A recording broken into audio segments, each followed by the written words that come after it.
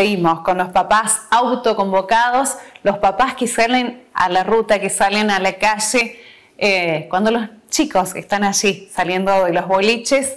Y Claudia, bueno, eh, el hecho de que estos padres autoconvocados hayan tomado eh, tan los hayan conocido en todo el mundo, los hayan conocido más que nada en los canales de televisión, ¿no?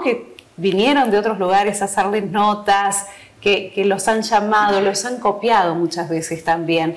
¿Qué, significa para ustedes saber que forman eh, parte de este gran grupo que ha sido líder, por decirlo de alguna manera, en control de, jóvenes en la calle? Sí, eh, sinceramente, un orgullo terrible por aquellos padres autoconvocados en, en su momento conducido y liderado por, por Raúl Malatín y, su esposa Mercedes, que tanto estuvieron ahí. Yo, yo recuerdo haber estado también partícipe de, de, esos controles y que tanto hicieron. Es un orgullo, como de decir, ¿no? Nosotros de, que esos padres autoconvocados hayan surgido desde acá, desde General de ESA, y que, tantos años estuvieron trabajando y, y, también, y bueno, que se fue replicando en distintos lugares, incluso creo que en países limítrofes también. Eh, y bueno, ahora humildemente nosotros desde nuestro lugar, con esta modalidad y demás, también sentimos nuestro, nuestro orgullo y como decíamos el viernes nos venimos caminando ya haciendo una reflexión mientras caminamos de regreso al, al centro de monitoreo donde, donde es el punto de partida. Eh, nos llena el alma, nos llena el alma porque siempre hay un chico que tiene algo para contar, siempre tiene algo para preguntar o para acotar o, o que venga y te dice yo disfruté, qué lindo, qué bueno o chicos de otras localidades, qué lindo que acá en esa ustedes estén acá, está buenísimo. Chicos que nos dicen, ojalá que nosotros también tengamos a, los nuestros allá. Eh, y eso te llena el alma. Eh, en lo personal, creo muchísimo en los jóvenes, creo muchísimo, creo que tienen muchísimo para brindar, muchísimo para enseñarnos a nosotros como adultos. Creo que los primeros que cometemos errores somos nosotros, que ellos son consecuencias o a veces ellos se equivocan, pero como consecuencia de los primeros errores que cometemos nosotros como adultos, que tenemos que escucharlo más, tienen mucho para decir, tienen mucho para ofrecer, para plantear, eh, así que me parece que no es tarde, no es tarde, tenemos que estar más presentes nosotros como adultos, reflexionar eh, y acompañar. Sí están expuestos mucho más que en otras épocas, están mucho más expuestos porque lamentablemente hay mucha gente mala que los rodea, mucha gente mala que los quiere llevar por el mal camino, mucha gente mala que les ofrece eh, cosas que para iniciarlo en, un camino eh, malo de, de, consumos y demás, es ahí donde nosotros como papás debemos estar más presentes, más atentos, escucharlos, observarlos y que ellos sepan que pueden contar con nosotros. Así que bueno, eh, ese es el alma, yo creo, del grupo de padres autoconvocados, cuidarlos y tratar de protegerlo también, más allá que de nuestra casa, por supuesto, seguramente cada uno de los papás tiene esa enseñanza también que nos vean ahí en la vía pública y decir, bueno, mi papá también se viene para acá. O sea, y, si no es mi papá, es el profe y es el preceptor, porque esa noche lo llamaban a Marco, creo que no hay ninguno de los chicos que no lo reconozca Marco, sea de la localidad que sea. estaba Liliana también, muy agradecido con todos los papás que empezaron el, día viernes. Eh, así que bueno, eso, ¿no? Los primeros responsables somos nosotros. Así que yo creo que es un paso muy importante ir a cuidarlos y tratar de ofrecerlos y escuchar a ver qué tienen ellos como propuesta, porque a lo mejor surge de ellos, necesitan algo donde los padres estén presentes. Yo le decía a Marco por ahí, cuando nosotros hagamos nuevamente la, eh, la lista de padres que van a componer realmente este grupo, de ahora en más, por ahí a lo mejor, ¿por qué no los padres autoconvocados están un día en la plaza, hacer algún evento para que los chicos escuchen música? tratar de acercarlo de eso y por ahí que no se nos vayan tanto a otros lugares y tenerlos más contenidos acá en nuestra localidad. Así que bueno, todo lo que surja de los padres que vinieron pensando y lo, y, lo hablamos en la secretaría y demás, por supuesto tienen todo el acompañamiento de, la, de parte del municipio en todo lo que se, se haga falta y se necesite, así que bueno. Creo que es el camino. Claro que sí. Claudia, bueno, seguramente va a haber más fiestas en los boliches de, de nuestra ciudad. Van a estar, ustedes continúan, van a ser todos los viernes, viernes por medio, ¿cómo va a ser el Se nos viene un, verano bastante movido, eh, ya, ya tenemos fechas previstas de, de, eventos especiales, así como la fiesta de las promos en el rancho. Eh, también tenemos los egresos, se vienen próximamente las fiestas de egresados y eh, también proyectado para el verano algún evento al aire, un boliche al aire libre y demás. Eh, por supuesto, más allá que estamos trabajando plenamente en que esas habilitaciones se den en todo el marco que se tiene que dar de seguridad, que, como tiene que ser para habilitarse, eh, para que los chicos tengan un lugar acá en general de esa donde, donde ir o asistir en el verano y no se nos tengan, que no se nos vayan a otras localidades o tengan que viajar eh, y corran algún otro riesgos en ruta y demás. Eh, y seguramente los papás vamos a estar, no te digo que todos los viernes, eso lo vamos a ver, lo vamos a coordinar, la idea es también identificar coordinadores para ver trabajar de netamente dentro del grupo de los padres. Exactamente. Eh, pero sí en las fechas esas. Se viene próximamente, no este viernes, pero sí el otro viernes creo que es otra fecha más de, la promo 2022 que la reciben y demás. Seguro que vamos a estar allí. Y en algún otro evento, así sea, no sea a la salida del rancho, pero sí en algún otro club o salón que se haga algún evento masivo donde concurran los jóvenes, vamos a estar ahí con los padres convocados. Bien.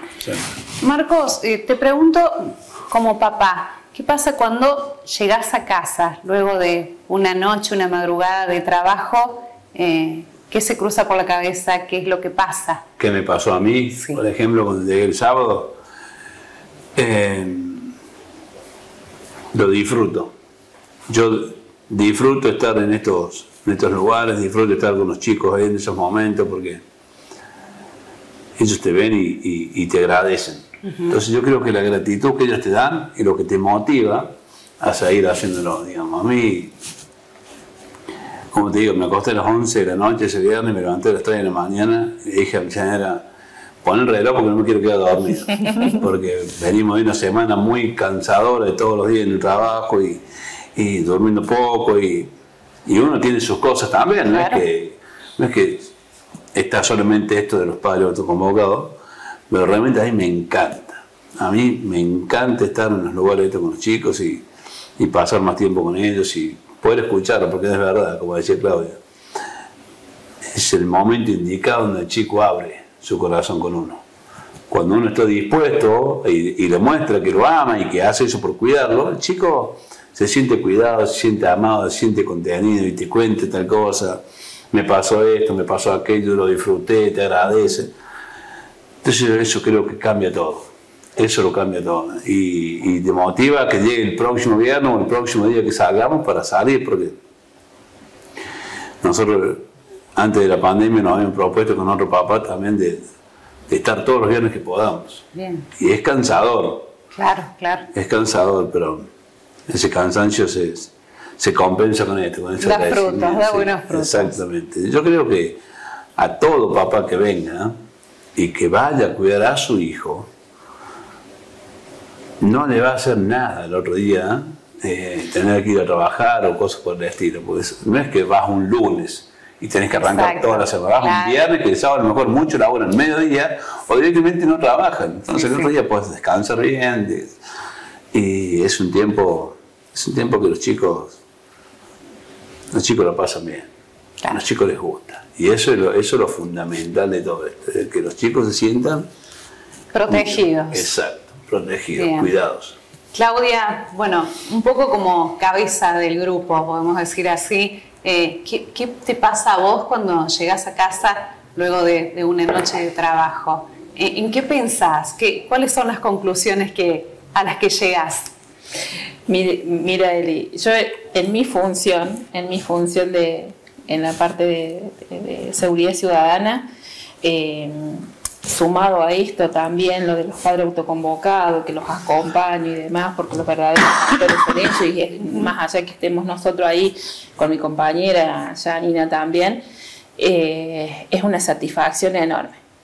Es una satisfacción enorme, no existe cansancio, no existe nada, llegamos felices y que todo haya salido bien. Primero, al principio son los nervios, la preocupación de, coordinar, no solamente con los papás, sino coordinar la parte del operativo de control, eh, que estén atentos en la ruta los, inspectores, el acompañamiento, por suerte, siempre de policía de la provincia que siempre nos está acompañando. Este, este fin de semana se apostaron dos móviles de, policía también con nosotros ahí, más dos móviles de seguridad ciudadana.